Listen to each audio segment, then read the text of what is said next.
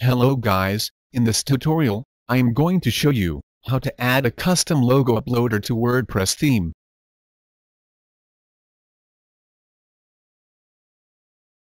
Let's open our dashboard.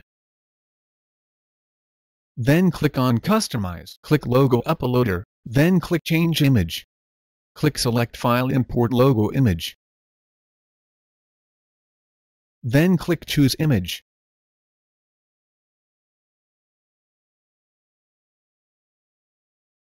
As you can see, the logo also changed on my theme. Let's start our tutorial. Open your editor. Shift to your theme. Find your customized file PHP. We are going to add three code blocks, which are a section, setting, and control. So we'll go within this function, which I added it already to my customized.php. First, we will create a new section for our logo uploader. Next, we register our new setting. Finally, we are going to tell our theme customizer to let us use an image uploader for setting our logo.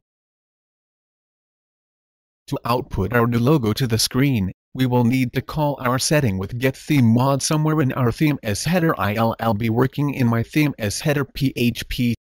However, if the user hasn't set a logo, we want to output the site title and description instead. Done. We have finished our tutorial. If you enjoyed this video and you like to see similar video and feature please don't forget to subscribe to our YouTube channel. Thank you.